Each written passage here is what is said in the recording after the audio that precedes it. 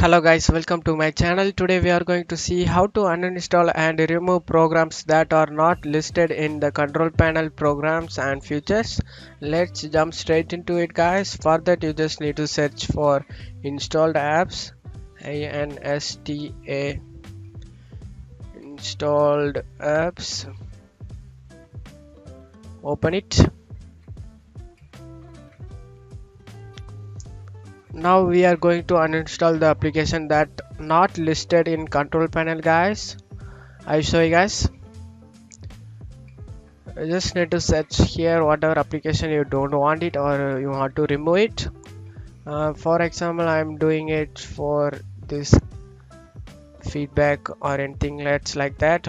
Just want to click the three dot icon over here and click uninstall and click uninstall again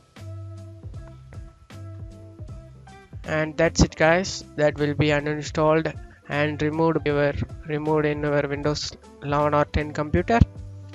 Uh, you can remove whatever application in here. Everything will can remove it. This you can also remove the anything not listed in the control panel guys. Not listed in the control panel. That's it for today's video. I hope this tutorial definitely helpful guys. Give me a like and subscribe. Thank you